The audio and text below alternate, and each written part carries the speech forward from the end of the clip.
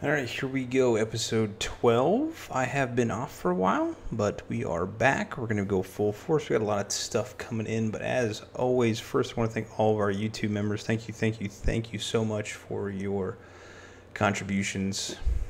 It's one of the reasons I uh, continue on with this, so thank you again. You guys are amazing. Um, if this is your first time at the channel, or if you're returning, and just haven't hit that subscribe button, hit that subscribe button so you get alerted whenever we get a new video out. We're going to try and keep pushing these videos out. Keep it going. If you got any requests, leave them in the comments below. But without further ado, let's go.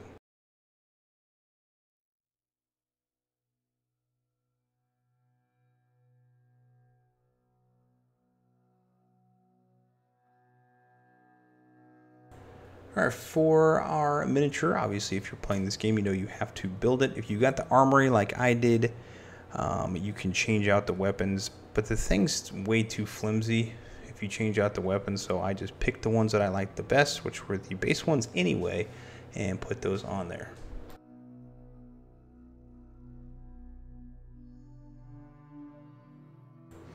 Next, uh, you're going to prime all of your miniatures, and if you have Instagram, hit follow us on Instagram at nerd.knights. We do Pokemon and miniatures on there.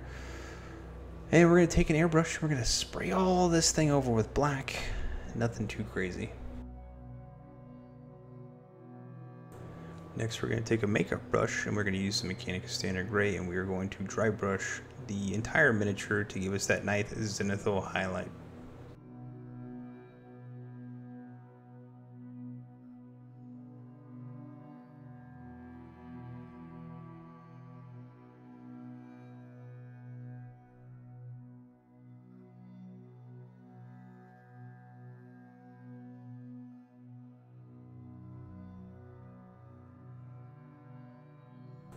All right, the first thing we're going to start with is our cloak. It is the focal point, I believe, of this miniature. It's the biggest surface area, so we're going to work on this first. We're going to take that Fenrisian gray and we're going to put it all over the cloak area of our miniature.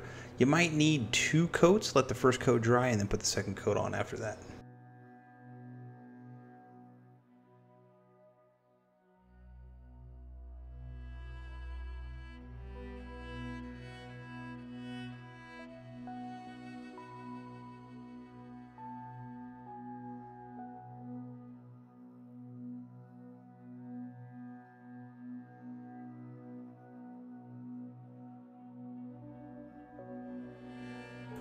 Once that is dry, we're going to take some Ushabti bone and we're going to put a dry brush all over the raised areas of our miniature. Now don't worry if you get this onto the other portions, it's not that big of a deal. It's just going to give it more highlight anyway, so don't worry about it.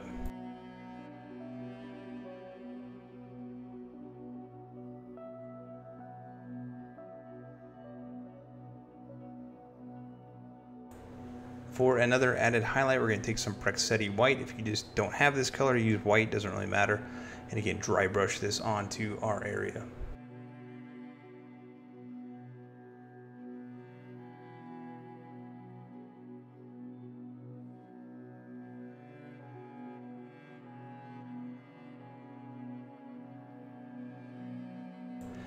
Next, we're going to take about a 50-50 mix of Corax White and Lahmian Medium. We're going to mix these together in your well. And then we're going to put it all over our miniature. Now, this is going to create that white, dirty color. That's why Corax White is probably the best color for it because it's not really a white. It's a grayish white, so it works out perfectly.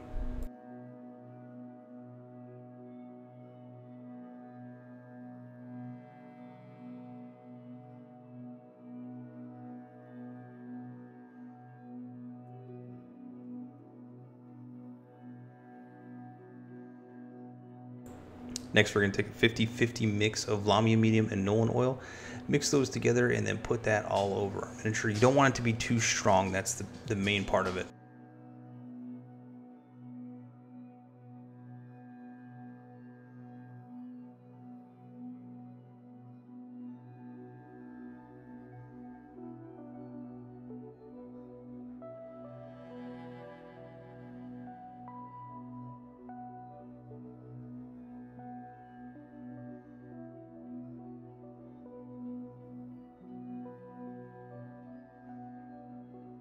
Now once completely dry, we're going to take a dry brush of Praxeti White. You can probably see a little bit of that blue sticking out some points, but that's okay. It adds a little bit of flavor to it. Again, you don't want it to be completely crisp. You want it to look a little rugged and dirty.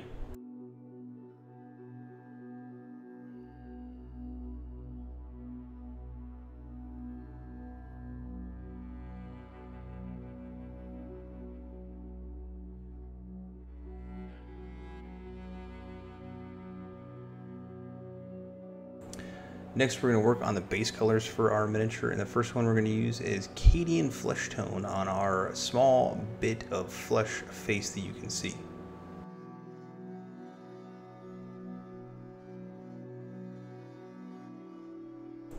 Next is one of the newer colors from Citadel, which is Corvus Black. It's not really an Abaddon Black, dark black, but it's a grayish black perfect color for what we're trying to accomplish here for the face mask, part of the armor leather, and on the legs as well.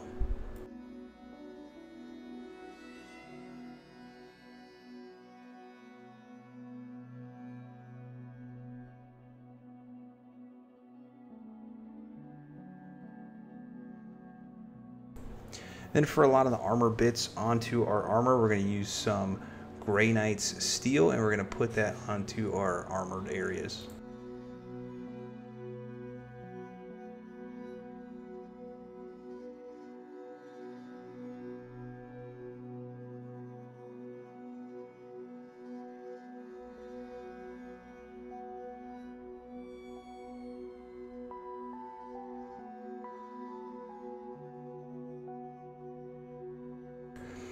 For our belt straps uh, around the chest and the mid region, we're going to use some of that Rhinox hide.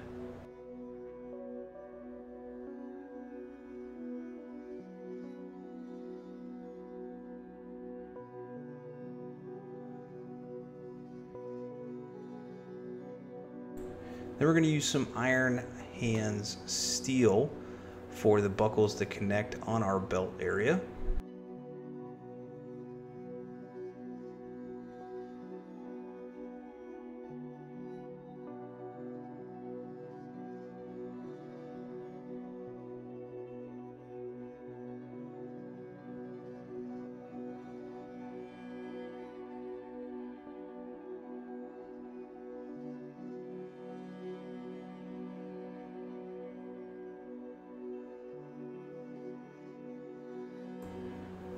Then for our knives that are sticking out onto our uh, belt area, and you can even use this onto the knives that our Cur is holding. We're going to use some our basic Leadbelcher.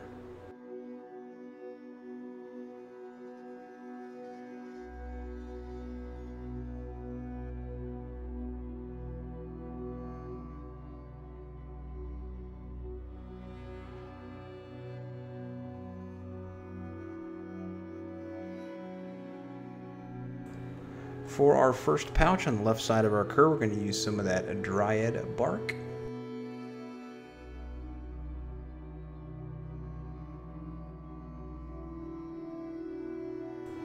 And for our second pouches around the mid region of our cur, we're going to use that Mournfang brown.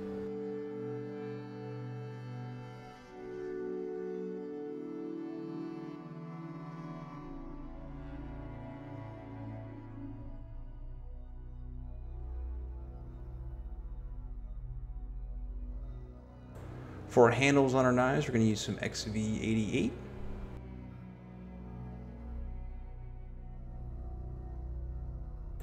And for our pupils, we're just going to use some pure white just to get some pre-area designated for our eye here in a moment.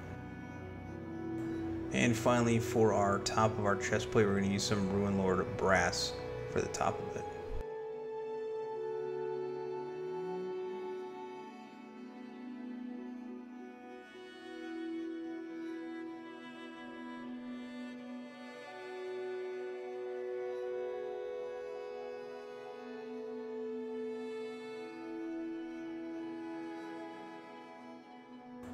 And for our wash step, we're going to use some Nuln oil on all of our metal pieces. If you want to use some Agrax Earthshade with it as well to really dull it down and make it a little bit more rustic look, you can as well.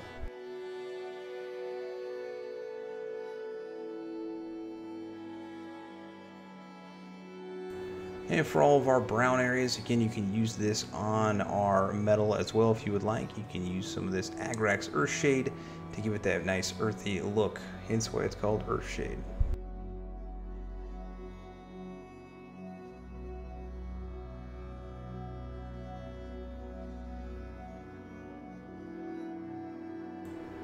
And for our skin, we're going to use some of that Reikland Flesh Shade, what we always use.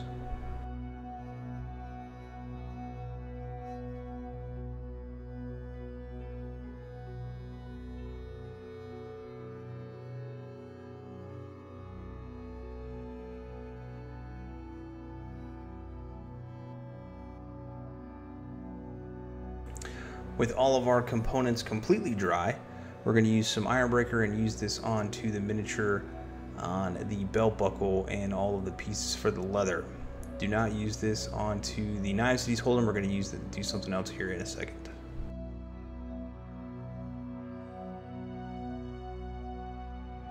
For the top portion on our armor, we're going to use some uh, Grey Knight's Steel. Brighten it up just a little bit.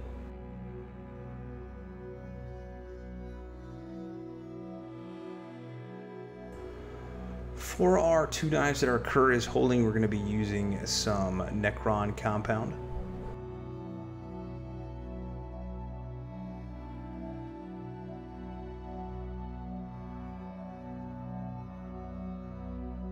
And for the dark patches of armor we went over earlier, we're going to use some Iron Warriors to just make it a little bit brighter but dull it down and keep it metallic looking.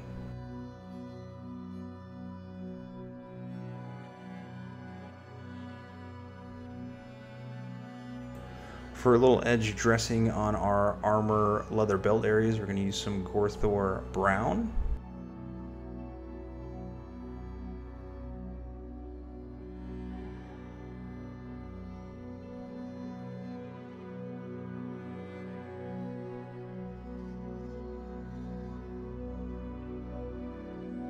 For our pouches, we're going to use some Skrag Brown just to brighten up just a little bit.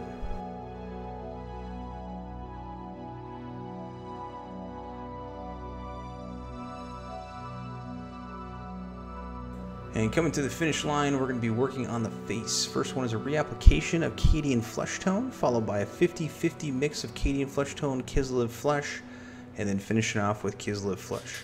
Take your time on it. Don't go overboard with it. Just get it nice and easy and in there. And make sure you are waiting for every layer to dry if you're going to do more than one layer, especially with the final highlight of Kislev Flesh to give it that extra highlights.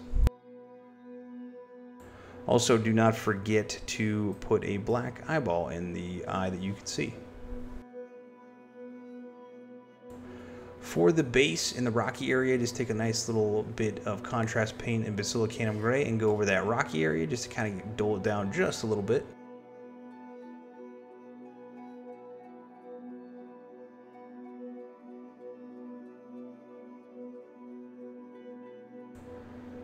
Followed by a Ratling Grime on that bottom portion of our base.